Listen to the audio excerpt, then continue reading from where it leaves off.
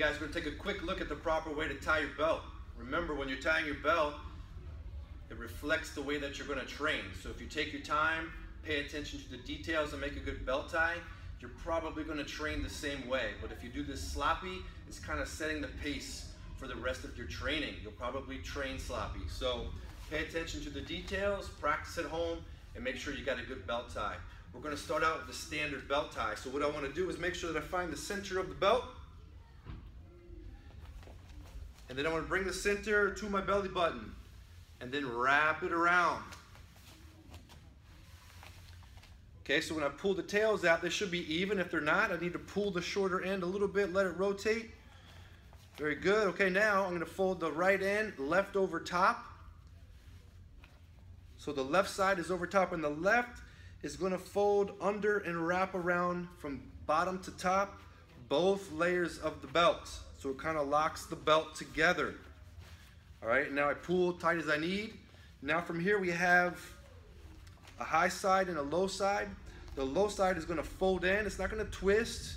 Make sure it doesn't twist, but it folds in neatly.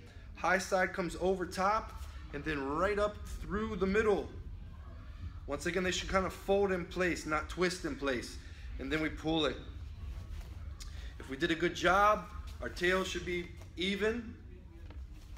Both tails should be pointing down. They shouldn't be one high and one low, pulling down. You'll notice with the standard belt tie that we do have like an overlap in the back that's noticeable. Uh, we can take care of that with the, the Hollywood super knot tie.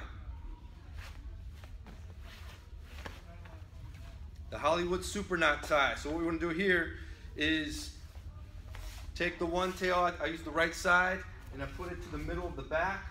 And now we're going to take the other side and wrap it around and around and keep bringing it around till we have the one tail out in the front.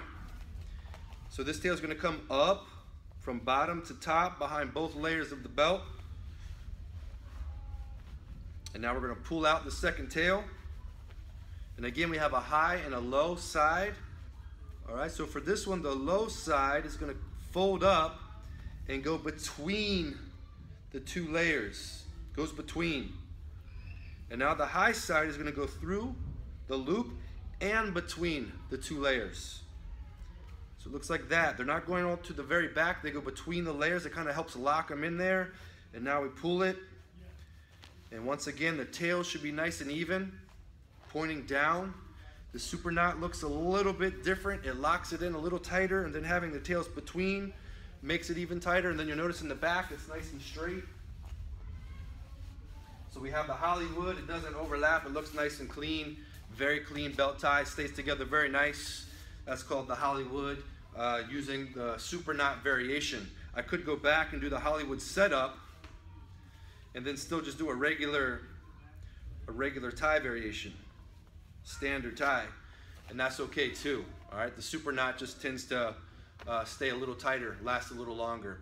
So those are two basic ways to tie your belt. Make sure you practice at home, come back, tie it nice before class, and remember the way you tie your belt reflects the way that you're gonna train.